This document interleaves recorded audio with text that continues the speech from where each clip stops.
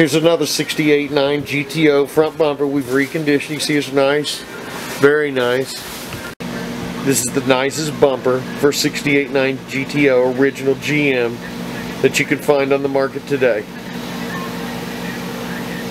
Very nice.